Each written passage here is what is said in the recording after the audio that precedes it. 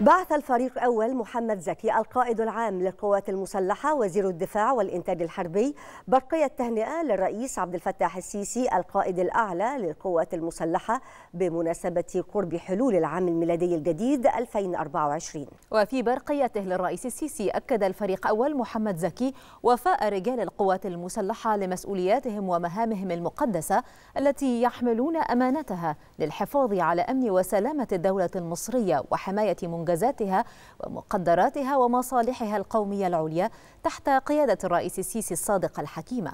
كما بعث الفريق أسامة عسكر رئيس أركان حرب القوات المسلحة برقية تهنئة مماثلة للرئيس السيسي.